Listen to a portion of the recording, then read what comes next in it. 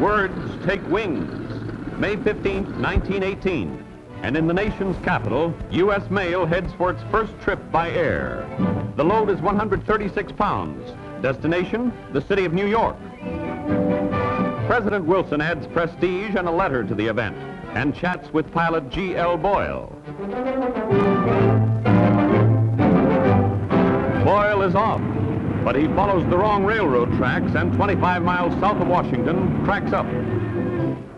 At Belmont Park, New York, May 15th, Postmaster Thomas Patten hands 144 pounds of mail for Washington to pilot Torrey Webb, destined to do better than Boyle. Patten commemorates the occasion with a send-off speech. On display are the first stamps for U.S. mail by air, and into the air goes the first airmail plane to complete a scheduled flight.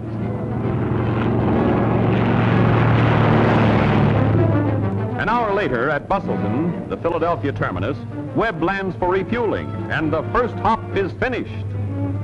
Mechanics check the ship for necessary overhauling and find it undamaged. With pilot J.C. Edgerton at the controls, the mail wings its way to Washington.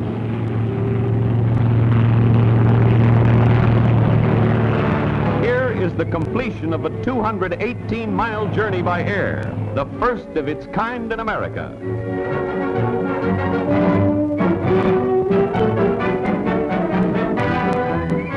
Edgerton and the mail come through.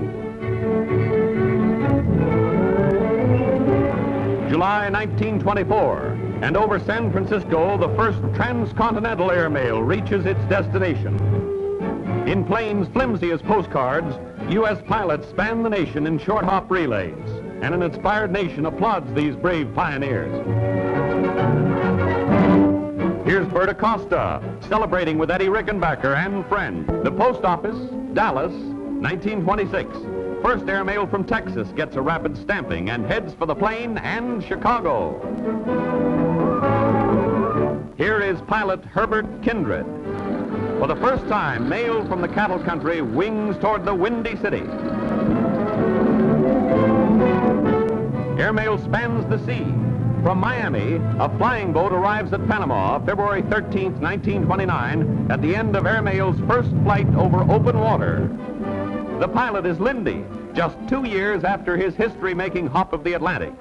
Yes, it's Colonel Charles A. Lindbergh, doing new wonders with wings.